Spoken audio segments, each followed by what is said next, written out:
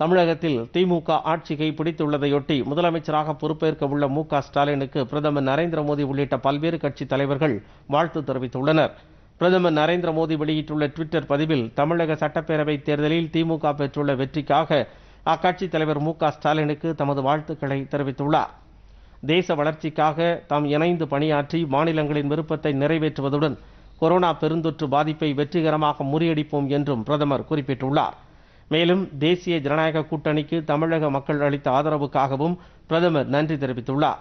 தமிழகத்தின் நலனுக்காக மத்திய அரசு தொடர்ந்து பாடுபடும் என உறுதியளித்துள்ள பிரதமர் தமிழ் கலாச்சாரத்தை மேலும் பிரபலப்படுத்த பாடுபடுவோம் என்றும் கூறியுள்ளார்.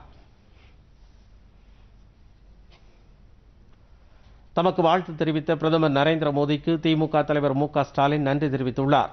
தேசிய தலைவர்களின் அறிவுரைகளையும் ஆலோசனைகளையும் ஏற்று செயல்படுவேன் என்றும் அவர்களும் மாநில அரசுக்கு ஒத்துழைப்பு தர வேண்டும் என்றும் வேண்டுகோள் வைப்பதாகவும் தெரிவித்துள்ளார்.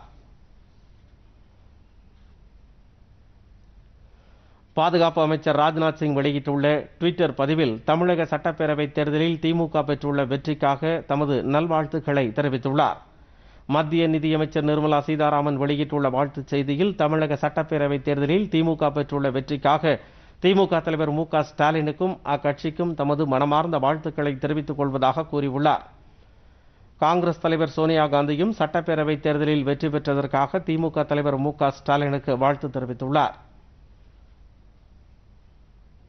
காங்கிரஸ் மூத்த தலைவர் ராகுல் காந்தி விடுத்துள்ள வாழ்த்துச் செய்தியில் தமிழக சட்டப்பேரவை தேர்தலில் வெற்றி பெற்றதற்காக திமுக தலைவர் மு க ஸ்டாலினுக்கு வாழ்த்துக்களை தெரிவிப்பதாகவும் தமிழக மக்கள் மாற்றத்தை விரும்பி வாக்களித்துள்ளனர் என்றும் கூறியுள்ளார்.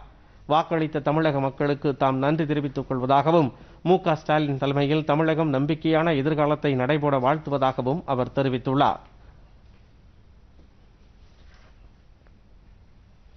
ராஷ்டிரிய ஜனதா தள தலைவர் லாலு பிரசாத் யாதவ் வெளியிட்டுள்ள வாழ்த்துச் செய்தியில் தமிழக தேர்தலில் திமுக பெற்றுள்ள அபார வெற்றிக்காக தமது வாழ்த்துக்களை தெரிவித்துக் கொள்வதாக கூறியுள்ளார்.